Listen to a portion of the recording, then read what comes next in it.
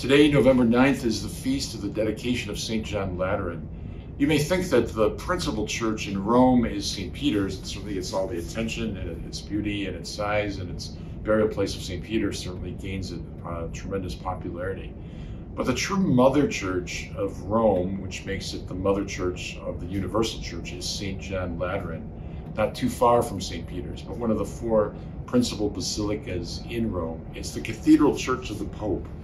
And when a new Pope is elected, there's something not quite official about his papacy until he goes and sits on the cathedra in St. John Cathedral and kind of takes ownership of that church um, as his role as Bishop of Rome.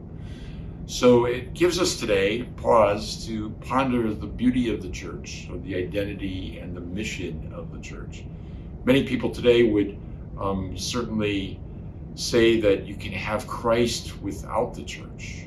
You know, yes to Jesus, no to the church. Yes to spirituality, no to religion. Church is too much baggage, too much weighty history, too many things that some disagree with. It, let's just jettison the church. We'll just hang on to Jesus and, and the scriptures. For us as Catholics, it's always a both and. So we can't have Jesus without the church as assuredly as we can't have the church without Jesus. It's telling when Saul on the road to Damascus um, hears the voice of Christ challenging his persecution of Christians. What Jesus says to him is not, Why are you picking on my friends? You know, why are you attacking my followers? Why are you persecuting my church? He says, Why are you persecuting me? So in that moment, Jesus himself identifies with the church. And so, what is the church? Who is the church? The church is the body of Christ. The church is the bride of Christ. And we compose um, as members of that mystical body of Christ, extended through time and space until the end of the world. And so the mission of the church is to proclaim the gospel, to celebrate the sacraments, and to shepherd God's people. It isn't so much that the church has a mission as it is that the mission of Jesus has a church.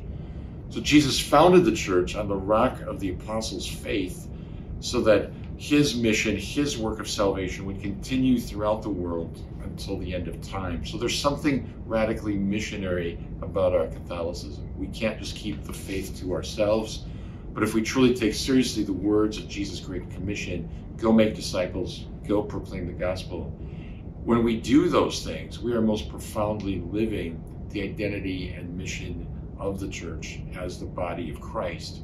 And so our Go Make Disciples initiative is really that effort on our part to renew ourselves in the mission of the church and in our identity as members of the mystical body of Christ. When Joan of Arc was at her heresy trial, one of the trick questions that her inquisitors asked her was to explain uh, the connection between Jesus and the church. Here's a 19 year old young woman, illiterate, completely untrained in theology, facing 30 doctors of theology from the University of Paris. So when she was asked that question, she thought about it for a minute and she said, I don't know theology, but the way it seems to me is that Jesus and the church are one and the same beautiful, perfect, simple answer from someone who is a saint and who is um, mystically infused with, with divine wisdom. We can certainly follow her example in realizing we can't have Jesus without the church. And we love the church because she is one holy Catholic apostolic.